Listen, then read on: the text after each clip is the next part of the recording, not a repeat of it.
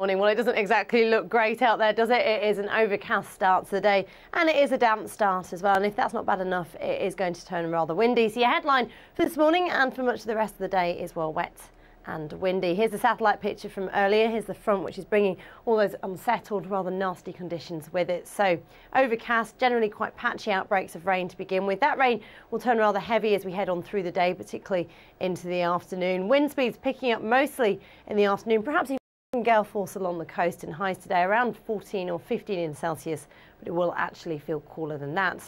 On to this evening, well, that rain will slowly edge its way towards the coast to leave behind a dry night, clear spells.